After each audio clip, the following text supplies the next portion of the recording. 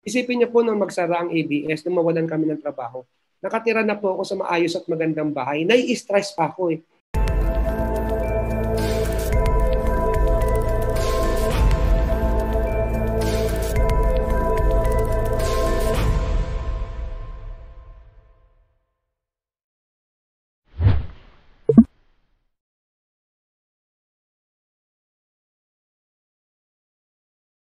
Unang-una po, yung paggising lang sa umaga at saka yung paghinga. Akala natin normal lang yon.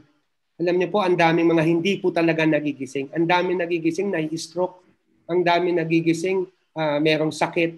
Uh, Doon pa lang na nagising ka sa umaga, eh, isa ng blessing. Every gising is a blessing, ika nga sabi nila. Totoo po yon. At uh, lalo po ako napalapit sa pamilya ko.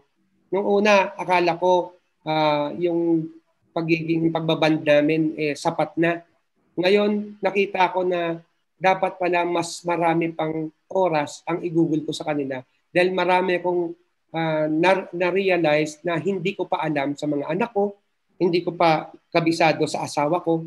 Ngayon, kabisadong kabisado ko na dahil lagi kami halos magkakasama pag walang ginagawa at kung saan man kami pupunta. Yung uh, pag-exercise, kailangan po talaga ng katawan natin Dati, hmm, saka na yan. Hmm, baka bukas na lang. Hindi po. Every day kailangan po talaga mag-ehersisyo tayo dahil yun po ang panglaban natin sa pandemic. At kung ano naman po ang talagang natutunan ko, alam niyo po sa bawat aspeto ng buhay, merong kontrolada, kontrolado tayo at merong hindi natin kayang kontrolin. Yung pong mga hindi natin kayang kontrolin, tulad po ng pandemic na po, eh, is pag sa Diyos na po natin wag na po natin kultahin yung isip natin kung ano yung dapat natin gawin. Talaga pong hindi natin kontrolado to.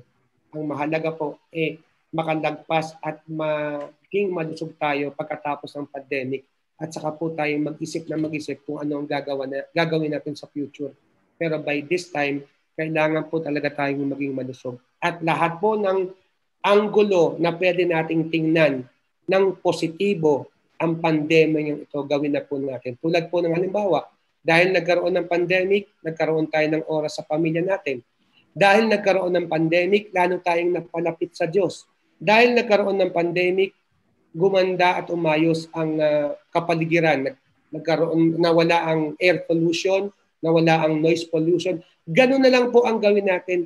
Tingnan natin yung magandang perspektibo ng mga pangyayari. Kasi po, mai-stress lang po tayo. Kawawa naman po ang mga mahal natin sa buhay. Sobrang stressful to po itong nangyayari sa atin. Ako nga po, sinasabi ko sa mga kapitbahay ko, isipin niyo po nung magsara ang ABS, nung mawalan kami ng trabaho, nakatira na po ako sa maayos at magandang bahay, nai-stress pa ako eh. Iisipin niyo naman po yung mga nakatira ng mga walang bahay, nakatira sa maliliit na bahay, lalo po mga mga walang makain, mga walang pambayad ng kuryente, walang pambayad ng tubig, talaga pong mas stressful po yung buhay nila kesa sa akin. So doon na lang po, eh, ikumpara mo na lang yung buhay mo sa buhay ng ibang tao para po maging maalwa naman yung uh, pakiramdam mo. Pero sana po, ang bawat may kakayanan sa ating lipunan, ay magbahagi po tayo sa mga nangangailangan. Lalo na po ngayon, kailangan-kailangan po ng kapwa Pilipino natin ng tulong tumulong po tayo sa kanila, gawin lang po nating planado, gawin lang po nating maayos.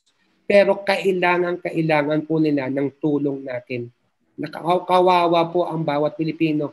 Hindi pa po natatapos ang pandemic na to. Nag-uumpisa pa lang po tayo. Baka po dumating ang panahon, wag namang ipahintulot ng Diyos na ang bawat mamamayan ay makaisip na ng masama dahil nagugutom na sila. Habang hindi pa po nila naisip yun, tulungan na po natin sila kailangan po talaga nila ng tulong.